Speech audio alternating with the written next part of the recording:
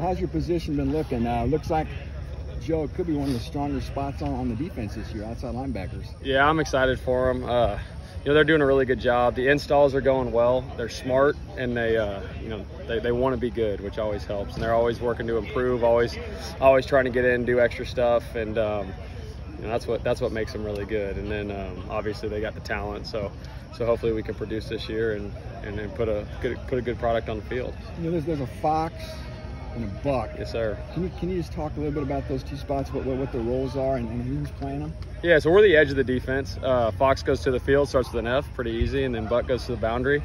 Um, and then so so for the Buck right now, you got Nick, Corday, Scotty, and then for the for the Fox spot, you got KJ, Will, and uh, and Rome. They're all doing a good job, and then we'll interchange them. We kind of we ask them all to learn both. You know, it's it's it's pretty much a mirrored spot, so we try to learn both. So there's no specific job that's different from one spot to the next. They're both basically the same. There's little tweaks here and there, but for the most part, it's it's pretty much the same.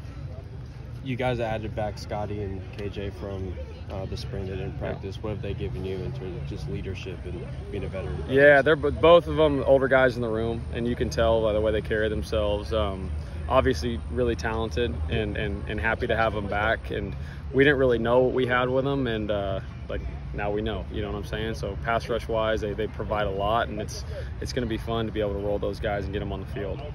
What can we look for from Nick this year, number five?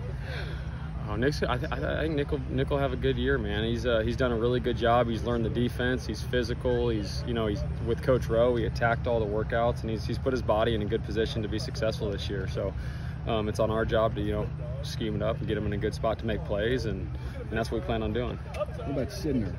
No, he's he's gonna be good, man. You don't you don't you don't find very many guys out there that have long arms like that. You know, he's that seven foot wingspan, and he's he's he's he's primed for a good one as well.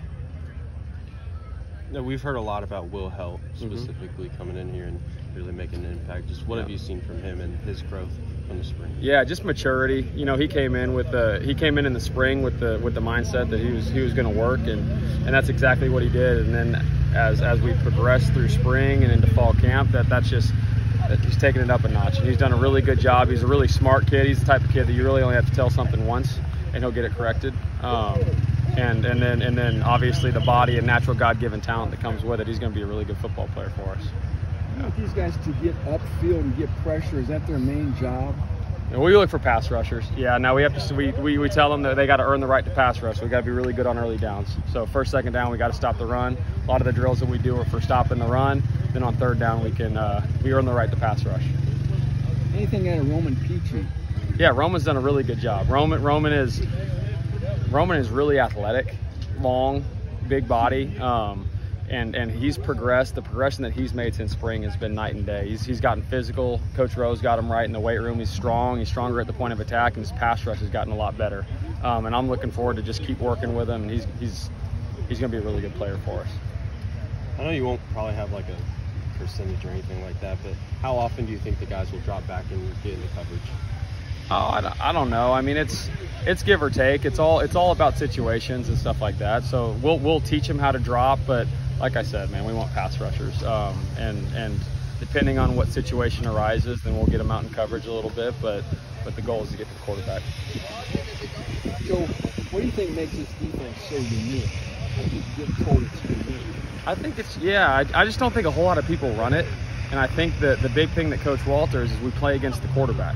So, so we're, our, our deal is we're going to try to confuse the quarterback, um, make everything look the same, and then work from there. So I think that that's in that capacity, if that makes it a little bit different than, than some other defenses out there. What have you seen from the tackles that your group has been going against? Yeah, I mean, I mean, a lot of them have they've they've really improved. Moose and uh, Marcus, those dudes, those dudes can play now. They got they're strong, they're athletic. When they're pulling, they bring some weight to them, and and they're a good challenge for our guys every day. Every day that we go against them, we get better. See that KU